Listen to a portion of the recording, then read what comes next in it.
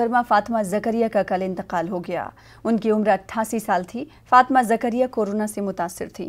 औरंगाबाद के कमलनैन बजाज अस्पताल में उनका इलाज जारी था। औरंगाबाद के आज़ाद कैंपस में फातिमा जकरिया की आखिरी रसूमात अदा की गई। अब आइए एक नज़र डालते हैं फातिमा जकरिया की हयात खिदमत पर।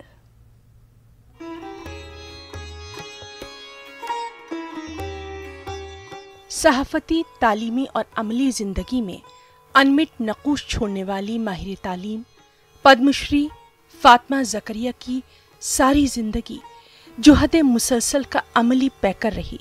मैडम जकरिया 17 फरवरी 1936 को मुंबई में पैदा हुई। मुंबई में ही उनकी इब्तदाई तालीम मुकम्मल हुई।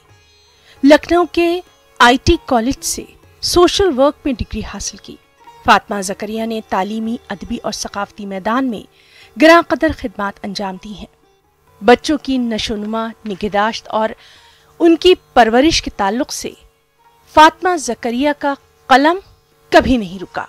1963 से वो इलस्ट्रेटेड वीकली में हफ्तावारी कॉलम लिखती रहीं। इसके अलावा सत्तर की दहाई में वो इसी अखबार की चीफ असिस्टेंट एडिटर भी रहीं। और इसके बाद मुंबई टाइम्स की एडिटर और टाइम्स ऑफ़ इंडिया की मुदीर की हैसियत से भी खदमात अंजाम दी। मैडम फातमा जकरिया ने उन्नीस में डॉक्टर रफीक जकरिया के साथ औरंगाबाद का रुख किया। औरंगाबाद में तालीमी इदारों की बुनियाद रखने में इनका कलीदी रोल रहा। मौलाना आज़ाद एजुकेशन ट्रस्ट और सोसाइटी और तालीमी इदारों की बुनियाद में वो डॉक्टर जकरिया के साथ शाना बशाना खड़ी रहीं। All India Khilafat committee Mumbai की सदर रहीं। होटल ताज मैगजीन की एडिटर रहीं। मैडम फातिमा जकरिया ने कई इदारों की सरपरस्ती की और न सिर्फ़ सरपरस्ती की, बल्कि उन्हें परवान भी चढ़ाया। पिछले पंद्रह वर्षों में फातिमा जकरिया की क्यादत में मौलाना आज़ाद कॉलेज के शोबाजात में तेज़ी के साथ इजाफा हुआ और इस इदारे की हैसियत आज एक मिनी यूनिवर्सिटी जैसी है। इनकी गिरा कदर खदमात के एतराफ़ में हुकूमत हिंद ने इन्हें सन 2006 में पद्मश्री अवार्ड से नवाजा।